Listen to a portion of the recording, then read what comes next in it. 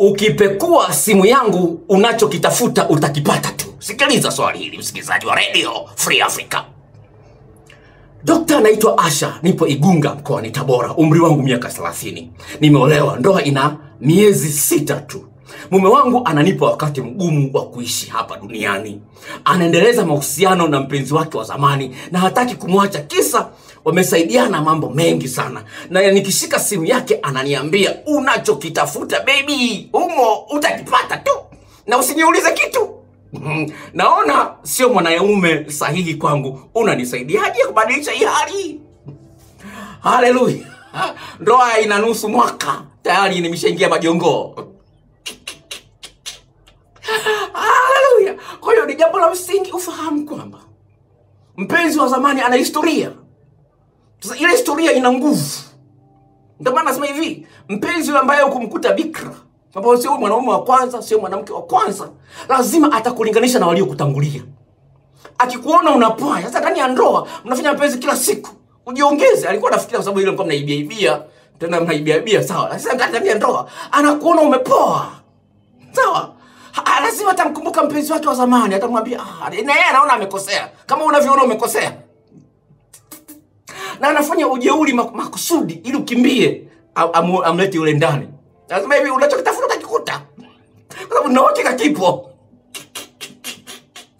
haleluya! Lazima unachokitafuta utakipata. Kwa hiyo ni jambo la msingi ufahamu kwamba kupekua simu wivu hakutoshi. Tafuta njia kumsaidia mwenzio akuone wewe ni wa thamani zaidi. Dada mmoja sawa mume wake ni Kibosile, alikuwa akisafiri naye anasafiri naye kwenda ulaya wapi na nini na nini na nini Kibosile sawa? Sasa alipoanza kuona mabadiliko akasema mbona mume wangu sasa amebadilika? Hachati na mimi kama zamani hata akiwa kazini hana muda kuongea na mimi. Naweza kutuma message yako anachelewa kujibu. Ni mume wake wa ndoa. Akasema "Basi nge- kwenye- nitapata ushahidi wa, wa haya mabadiliko kwenye simu yake. Akaenda akapekua akakuta. Kweli ana mchepuko akasema nikakaa kimya. Nikasema hivi huyu atarudi tena kwa spidi ya 4g anavyoongea mwenyewe huyo dada sawa? Kwa spidi ya 4g atarudi.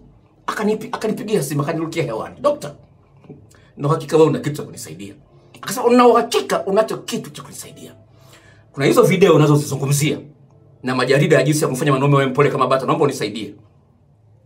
Akalipa shilingi elfu kumi nikamrushia baada ya wiki mbili akaniambia dokta na mrejesho nikipata nafasi nitakupigia.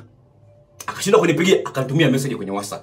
Akasema hivi dokta akanipa hiyo story yote sasa.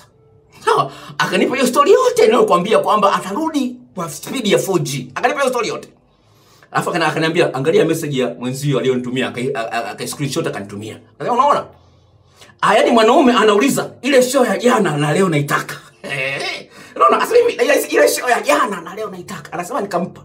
Akaja niletea ushu- ushu- ushu- ushu- ushuhuda wa pili. Akanambia dokta huwezi amini.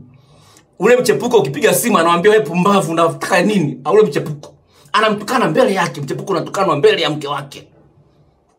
Unaweza kuona mwanaume badilika mwanaume ambaye alikuwa hana time na mke wake hii ni story nyingine. Alikuwa na time na mke wake. Yaani mwanaume ana gari mwanamke hana gari. Sawa baada ya mwanaume mwanamke kubadilika kitandani mwanaume akitoka kazini anampitia mke wake sasa mke wake ananipa ushahuda anasema siku hizi ananiweka kwenye whatsapp profile yake mara kwa mara na ana picha ameitengeneza amechukua ana ofisini anakaa na picha yangu sasa haya mambo sio madogo na sio hadithi za fanya. Kwa haya mambo yanawezekana kabisa. Nimalizie na swali hili la mwisho. Nimalizie na swali hili la mwisho msikilizaji.